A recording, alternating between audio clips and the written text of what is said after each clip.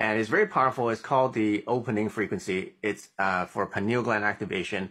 And since you're talking about that mother code, this could kind of get help people to get into that state. So if you don't mind, I would like to play this for a minute, and then we can all close our eyes and, and meditate with this.